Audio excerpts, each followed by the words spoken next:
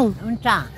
Dili jud mo sugot si Coco Martin nga dili ka mo audition, dapat mo audition gid daw ka karon. Oh. Di, di ko kakaya, oy. Kaya lagi na nimo. Dot, diri dot. Yeah. Yan. Ang senaryo na to karon, si Badidot daw mudo na ang uyab ni Coco Martin nga imong apo. Nya kana daw si Badidot, maldita kayo. Sige. Oy. Muna tong senaryo ha. Niabot daw siya sa inyong balay. Wala gid daw siya ni amin-amin. Tapos nagyaw-yaw ka. Okay. Lights, camera. Action! Saan si Coco? Hindi ko alam. Bakit? Sino kayo? Ako? Girlfriend niya. Anak mo siya, ba't di mo alam? Kayo lang ang boyfriend niya? Ay! Hmm, hmm. Ayaw ko na. Hindi na, hindi na yun, hindi na yun mag-uwi dito.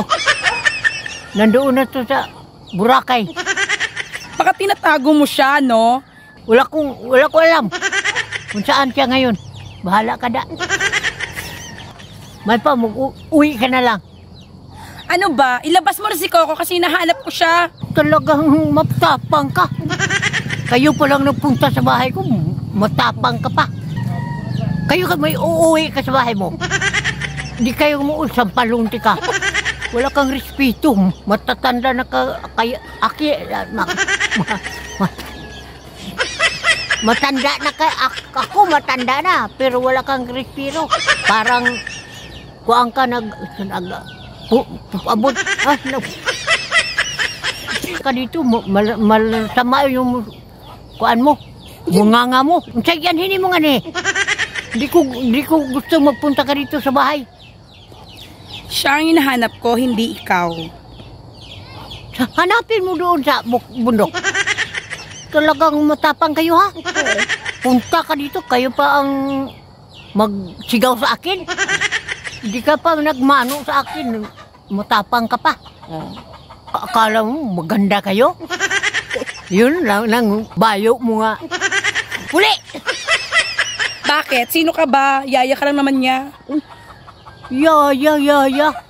Anak ko yun si, si Kur- Kuko Tanggol. Ya, ya, ya, ya mo karon sa ako. Baka ma... Hmm.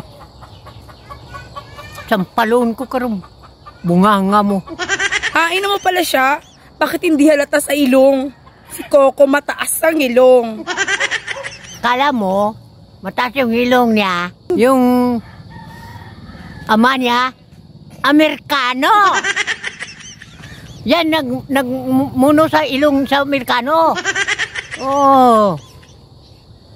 Talaga kang masama kayong babae. Magpunta ka lang sa bahay, matapang ka pa yung. Muli ka!